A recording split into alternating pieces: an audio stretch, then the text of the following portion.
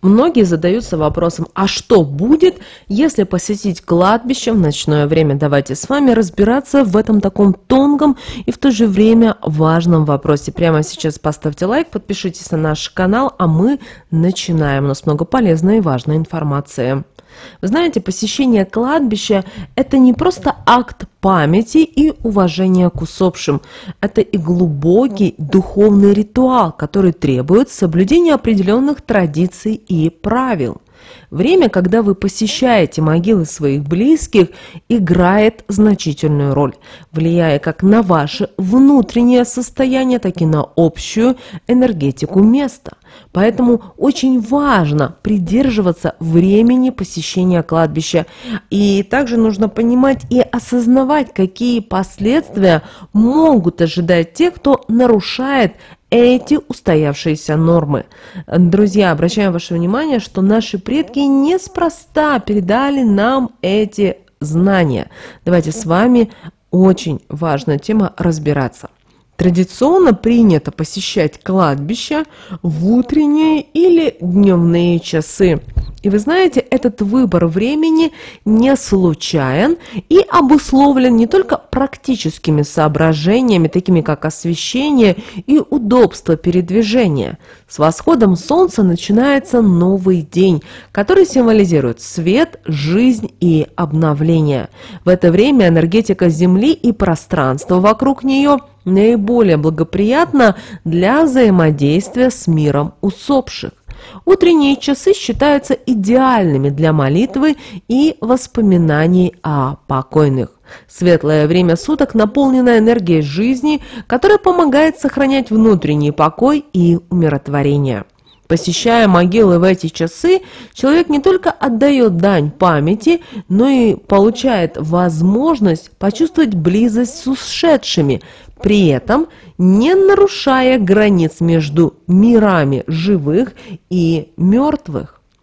Кроме общепринятых утренних и дневных часов, существуют и определенные дни, когда посещение кладбища становится особенно значимым. Это так называемые поминальные дни, это сюда относится и Троицкая, родительская суббота, да, а, Радуница, сюда относится Дмитриевская, родительская, Дмитриевская э, суббота. И в эти дни по народным и религиозным верованиям граница между мирами становится тоньше, что позволяет живым более тесно взаимодействовать с душами умерших. Такие дни принято не только посещать могилы, но и приносить угощения, украшать захоронения цветами и проводить ритуалы, которые направлены на улучшение состояния души усопшего. В это время на кладбище царит особая атмосфера, наполненная светом, уважением, что создает благоприятные условия для проведения поминальных обрядов. После захода солнца энергетика кладбища меняется. В это время место, которое днем символизирует память и покой, превращается в пространство, где доминируют силы, не предназначенные для взаимодействия с живыми. Ночь на кладбище – это время, когда границы между мирами стираются, и на первый план выходят силы и энергии, связанные с потусторонним миром. Понятие мертвого времени неразрывно связано с представлениями о жизни после смерти, духа и других потусторонних сущностях. Оно начинается сразу после обеда и длится до самого утра. В этот период кладбище становится местом, где доминируют энергии, не подвластные законам живого мира. Здесь усиливаются силы, которые в дневное время остаются в тени, и даже самые привычные вещи могут восприниматься иначе. Энергетика мертвого времени считается тяжелой, мрачной и даже опасной для живых. Если днем кладбище – это место, где люди приходят поощрить память своих усопших, принести цветы, привести в порядок могилы, то ночью оно превращается в пространство, где властвуют другие законы. Этот период э, связан с темными энергиями, которые могут нанести вред тем, кто осмелится нарушить покой мертвых. С древних времен люди инстинктивно чувствовали, что ночью на кладбище лучше не появляться. Это убеждение основывается на множестве историй и преданий, которые передавались из поколения в поколение. Основной причиной такой осторожности является страх перед потусторонними силами, которые активизируются именно в это время суток. Когда человек попадает на кладбище в мертвое время, его психика оказывается под воздействием сильных энергетических потоков, которые исходят от Земли. Это вызва, может вызывать чувство необъяснимого страха, тревоги, а иногда даже и паники. Многие начинают видеть призраков, слышать странные звуки или даже ощущать чье-то присутствие рядом. Важно понимать, что эти ощущения могут быть не просто плодом воображения, но и следствием взаимодействия с реальными потусторонними сущностями, которые обитают на кладбище. Кладбище – это место, где души умерших находят свой последний приют. Однако не все из них готовы покинуть этот мир окончательно. Считается, что в мертвое время на кладбище активизируются те сущности, которые по тем или иным причинам не смогли перейти в другой мир. Эти сущности могут быть агрессивно настроены к живым, особенно если чувствуют, что их покой нарушают. В таких условиях даже самые рациональные люди могут столкнуться с необъяснимыми явлениями. Это могут быть странные звуки, шорохи, шаги, а иногда и полноценные видения. В темное время суток, когда границы между мирами размыты, вероятность столкнуться с потусторонним возрастает многократно. Кладбище всегда связано с магией и оккультизмом. Маги и колдуны часто выбирают именно это место э, для проведения своих ритуалов и особенно предпочитают делать это в мертвое время. Ночь на кладбище идеально подходит для черной магии, поскольку здесь можно в полной мере использовать мощные энергетические потоки, связанные с миром мертвых. Для проведения таких ритуалов требуется полная темнота и отсутствие посторонних. Именно э, и считается, что любое вмешательство в процесс может привести к непредсказуемым последствиям как для самого мага, так и для случайного свидетеля. Именно поэтому маги предпочитают работать на кладбище в глубокую ночь, когда вероятность встретить, встретить других людей будет минимальна. Некоторые ритуалы требуют особых условий, таких как полнолуние, определенные планетарные сочетания или конкретные даты. Все это усиливает энергетический фон и делает ритуал более мощным и опасным. Люди, которые случайно оказываются на кладбище в этот момент, могут стать свидетелями вещей, которые лучше бы не видеть. Это может вызвать серьезные психические расстройства и даже привести к потере рассудка. Необъяснимый страх, который охватывает человека на кладбище в ночное время, не является случайным. Дело в том, что психологи и специалисты по паранормальным явлениям утверждают, что кладбище ночью – это место, где пересекаются разные измерения, и человек попадает в пространство, где его сознание начинает взаимодействовать с неизвестным. Это взаимодействие может быть крайне разрушительным для психики. Оказавшись на кладбище, в мертвое время человек может испытать сильнейший стресс, который спровоцирует развитие различных психических расстройств. Страх, панические атаки, галлюцинации – все это может стать следствием пребывания в таком месте. Особенно уязвимы к этому люди с высоким уровнем впечатлительности и те, кто страдают от каких-то психических проблем. Помимо мистических угроз, кладбище в ночное время несет в себе и физическую опасность. Уединенность и темнота делают это место идеальным для совершения преступлений. Маргинальные личности, алкоголики, наркоманы и агрессивные бездомные часто выбирают кладбище как укрытие от посторонних глаз. Встреча с такими людьми может закончиться трагическим. В прошлом были известны случаи, когда преступники использовали кладбище для своих темных дел, э, дел например, для, для захоронения тел своих жертв. Совершенно случайный прохожий, который оказывается на кладбище в ночное время, может стать свидетелем чего-то, что ему не следовало видеть. В таких ситуациях шансы на выживание также минимальны. Кладбище – это не просто место захоронения тел умерших, но и пространство, где происходит взаимодействие между мирами. Сюда приходят, чтобы попрощаться с умершими, отдать дань уважения и памяти, а также осмыслить собственные отношения к жизни и смерти – Энергия, сосредоточенная на кладбище, носит уникальный характер. Это смесь покоя, трансформации и некоего промежуточного состояния между существованием и небытием. И здесь на, на кладбище сосредоточены энергии, связанные с завершением жизни и переходом души в иной мир.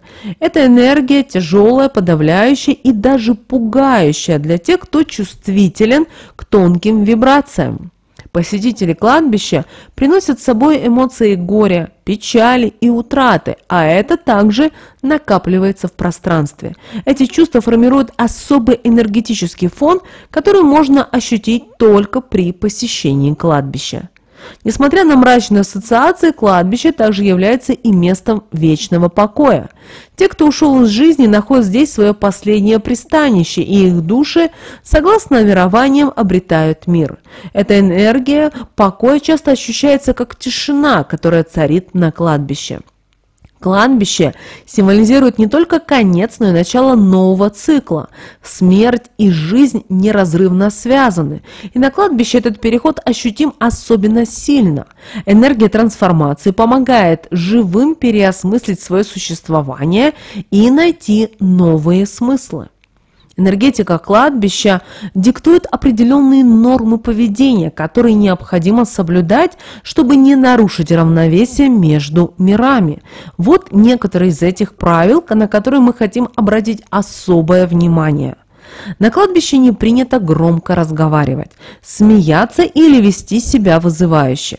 Это связано с тем, что громкие звуки могут разбудить потусторонние силы и вызвать их негативную реакцию. Хотя кладбище – это место скорби, но не стоит слишком долго погружаться в печаль. Перенас... Перенасыщение пространства энергия горя может усугубить тяжесть его атмосферы.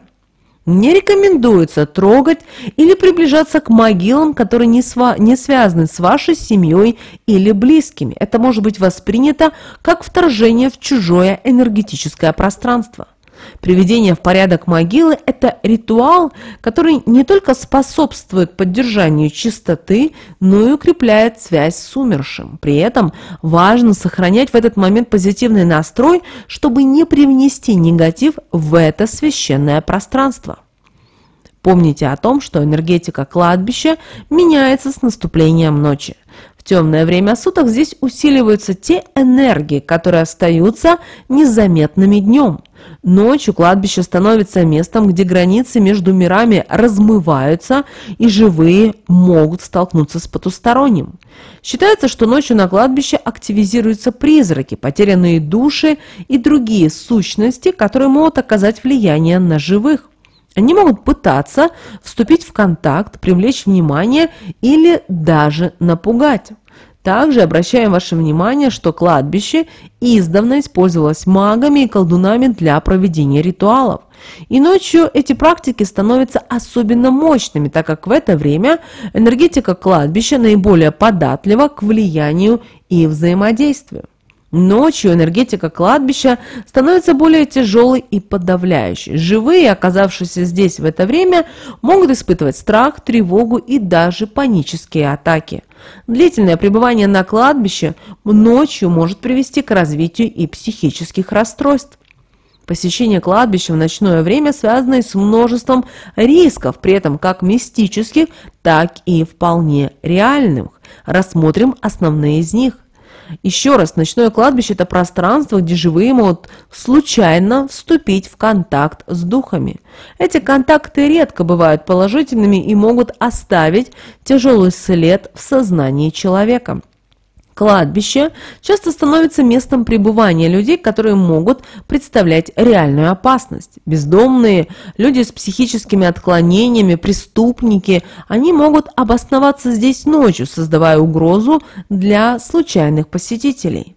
В темное время суток на кладбище легко потерять ориентацию. Это может привести к тому, что человек может заблудиться, особенно если он находится в незнакомом месте.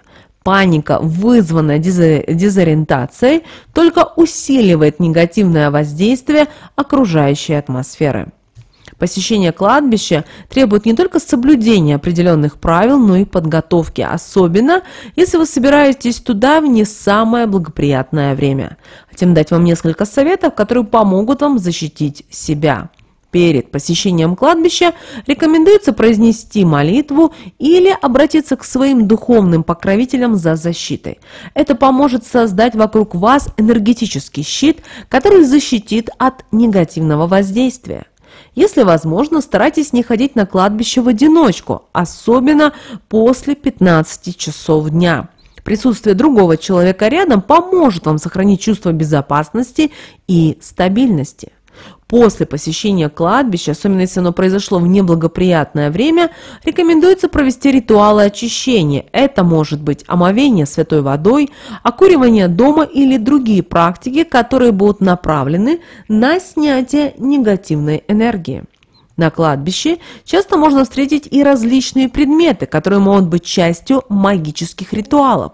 Избегайте их прикосновения и не берите с собой, не берите с собой ничего с кладбища. Посещение кладбища требует и определенного поведения, которое формировалось веками. Эти правила направлены на поддержание уважения к усопшим и на защиту живых от негативного воздействия. Кладбище – это место, где царит покой, громкие разговоры, смехи и любые проявления радости считаются здесь неуместными. Это не просто культурная норма, но и способ сохранить энергетический баланс на кладбище. Соблюдение тишины поможет вам избежать привлечения нежелательных сущностей. При посещении кладбища рекомендуется надевать скромную одежду темных тонов. Это символизирует уважение к памяти усопших. Яркие вызывающие наряды могут быть восприняты как неуважение не только живыми, но и потусторонними силами. Принесение цветов и памятных предметов на могилу – это древняя традиция, которая символизирует память и уважение. Здесь важно помнить, что искусственные цветы все-таки э, нежелательны, так как они не несут в себе живой энергии. Лучше принести живые цветы, которые символизируют жизнь и возрождение. Не рекомендуется прикасаться к могильным камням, оградкам или другим элементам могил, если они не принадлежат вашим близким. Это может быть воспринято как вторжение в чужое энергетическое пространство. Также не стоит брать с кладбища любые предметы, даже если они кажутся вам безобидными. Некоторые действия на кладбище считаются недопустимыми, так как они могут нарушить покой усопших и привлечь к вам негативные силы поэтому никогда не следует оставлять еду на могилах. Однако, если вы не следуете этой традиции, вы должны понимать э, и то, что оставленная еда может привлечь животных или даже сущности, которые используют для связи с миром живых. Шутки и смех на кладбище могут быть восприняты как неуважение к усопшим. Это может нарушить баланс между мирами и вызвать негативные последствия для тех, кто допускает подобное поведение. Также э, ни в коем случае не стоит снимать обувь ни при входе на кладбище, ни на самом кладбище. Помните, это место силы и снятие обуви может ослабить вашу защиту, оставив вас уязвимым для воздействия энергии кладбища. Также не рекомендуем ходить по могилам. Это не только э, проявление неуважения, но и нарушение энергетического пространства. Хождение по могилам может привлечь к вам негативное внимание потусторонних сил. Кладбище издавна считается местами сильной энергетикой, и они часто используются в магических практиках. Мы уже говорили о том, что маги, колдуны выбирают кладбище для проведения ритуалов, так как здесь особенно чувствуется присутствие потусторонних сил. Однако для обычных людей посещение кладбища в магических целях крайне не рекомендуется. Помните, что период после захода солнца считается наиболее опасным э, для посещения кладбища. В это время на кладбище активизируются темные силы, и любые попытки использовать их энергию могут обернуться против вас. Поэтому, если у вас нет специальной подготовки, знаний, лучше избегать любых магических действий на кладбище. Но бывает так, что человек прочитал что-то в интернете и решил провести ритуал на кладбище. Убедитесь, что вы точно знаете, что вы делаете, потому что неправильное выполнение ритуала или нарушение правил просто-навсего может привести к серьезным последствиям, включая привлечение нежелательных сущностей и разрушение вашей жизни. Нужно ли вам такое? Точно нет. Поэтому 10 раз подумайте о том, стоит ли э, вам делать те или иные действия. Друзья, мы надеемся, что наши советы и наши рекомендации вам помогают в жизни. Друзья, прямо сейчас ставьте лайк этому видео, обязательно подписывайтесь на наш канал. Мы надеемся, что наши советы и наши рекомендации вам помогают в жизни. Ну а прямо сейчас, друзья, на экране вы видите два всплывающих окна. Это следующие рекомендованные видео для вас. Нажимайте на то видео, которое вам на интуитивном уровне понравилось больше и смотрите. Друзья, всех вам благ. Услышимся с вами уже буквально в следующем видео.